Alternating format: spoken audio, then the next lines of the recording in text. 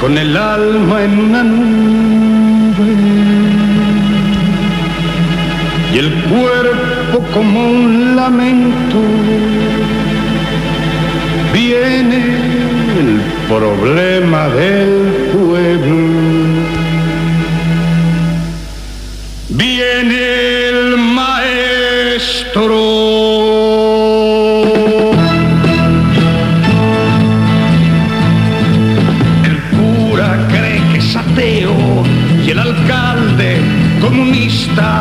Y el cabo jefe de puesto piensa que es un.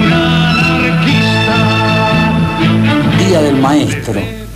Felicidades, maestros. Nos recordamos, los recordamos. Radio Comunidad Enrique Angelelli los abraza, los saluda. A todos, a todas, sin distinción. Aquellos rurales, estos urbanos, a todos los que escuchen, especialmente a los que escuchan Radio Comunidad. Los abraza queriéndolos hayan vivido experiencias buenas, experiencias malas, a los responsables y a los no tan responsables. Así como el agua moja a todos, el sol brilla para todos, que este saludo sea para todos los maestros, para todas las maestras que atienden, que atendieron a nuestra niñez, a nuestra juventud, a nuestra adolescencia aquí en Neuquén. Muchas gracias por ser como son y aquellos que escuchan y que la actividad docente no los convence, les remueva un poquito este saludo para que tengan en cuenta, tengamos en cuenta que ser maestro es también vocacional, no es un simple trabajo. Como todas las actividades, los maestros, las maestras saben de qué hablo. El trabajo es para un sueldo, pero cuando se trata con humanos es para el amor también. Les agradecemos enormemente a aquellos que han andado por las cordilleras, por las zonas más difíciles y que han mostrado con templanza que la vocación docente se fue formando en el dolor y en el amor.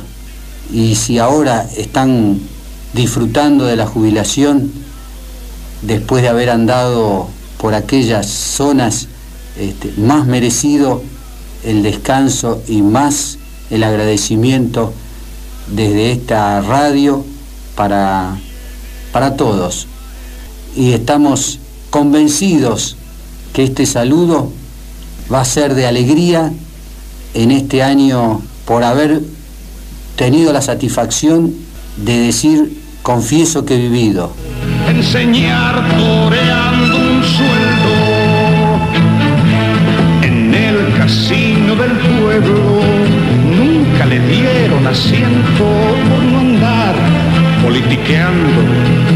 ser portavoz.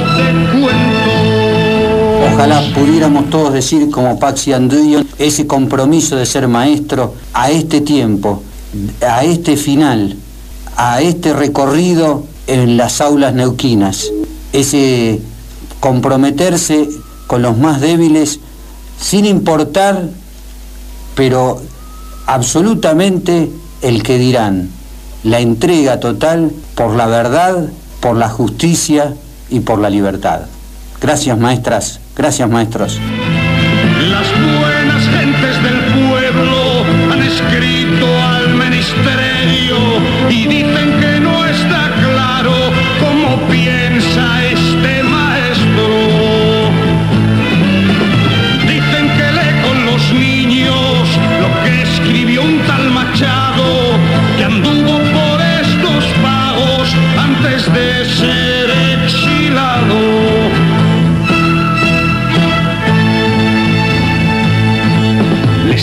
Habla de lo innombrable y de otras cosas peores.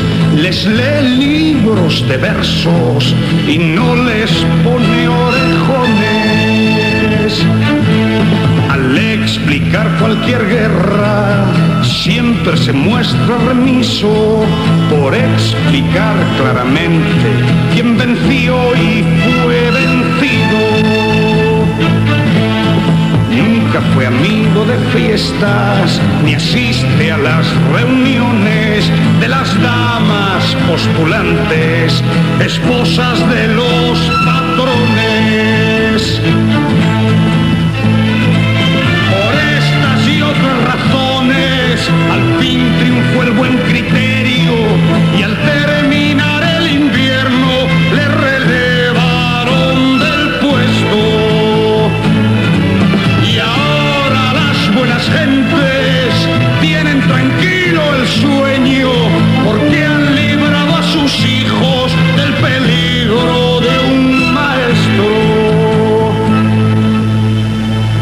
el alma en una nube